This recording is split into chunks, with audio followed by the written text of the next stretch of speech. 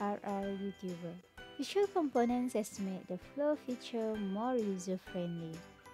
You are now able to have multiple layers of the process or call as a parallel process under one flow group. Compared to Visual Components 4.4, you only allowed to have one layer of a process for each flow group. In Visual Components 4.4, there are only two ways to insert a process into the flow steps. Either manually add a process or automatically add it by clicking on the components label. But after upgrading, another way to add a process into the flow step is by dragging the components label to the flow editor and placing it in the sequence that you want.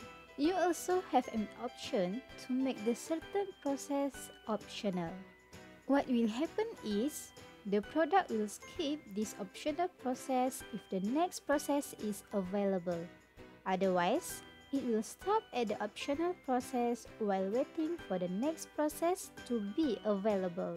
Interesting part, instead of going to the processes to open the process statement panel, you can directly right-click on the label to open it from the flow editor. And lastly, now you can get information from the flow editor through the process statements. Enjoy the new flow feature. Subscribe for bi-weekly updates. Thank you and bye.